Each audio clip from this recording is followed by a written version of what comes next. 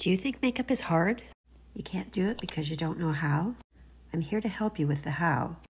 You won't believe how easy this is. It's just four steps, paint by numbers, put it on your face, blend it out. It's so simple. I've worn makeup for a long time and I've never worn anything like this. It just feels so good on my face. I just love it. So if you think you can't do makeup, you got to see this. You got to try this. And I'm going to help you do it. Just comment collection and I'll help you get started with the basics.